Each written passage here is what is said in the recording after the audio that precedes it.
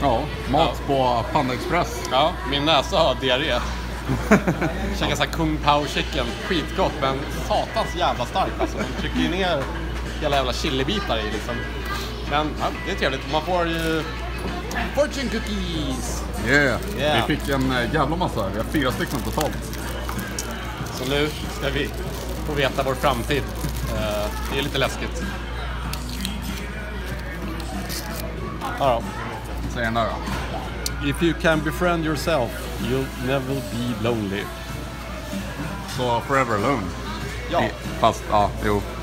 De här har inga siffror på baksidan som de andra lapparna har på det andra stället vi äter på. Ja. Där har de så här lyckonummer på baksidan. Väldigt accurate. Men det är inte nog där. Det var ju bara första kakan. Just keeps on going. Share good fortune with friends. Ja, jo. Nej, jag är vitskeplig. Ja, också ha en. han tar en för laget. Som jag kan läsa utan röst också. De är fan rätt goda. Mer kovar. Kom igen.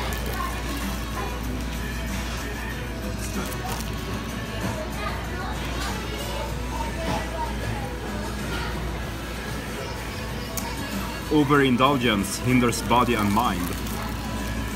Ja, jo visst, men... Kom igen nu, sista. Jag vill ha en jättebra fortune. A new relationship awaits. Eh, Men om det är någon där hemma så behöver jag vara orolig. ska vi göra några samtal och sen...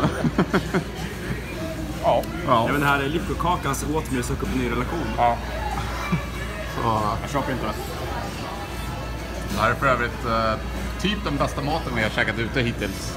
Jag tror det. Det Ja, enda som- faktiskt liksom känns rimligt Ja. i eh, så här nyttighetsskalan kan man säga. Alltså mat här i Vegas är eh, inte bra alls. Det är jättesvårt. Jävla äckligt. Det är burgare, burgare eller våfflor med eh, Ja, kyckling. precis.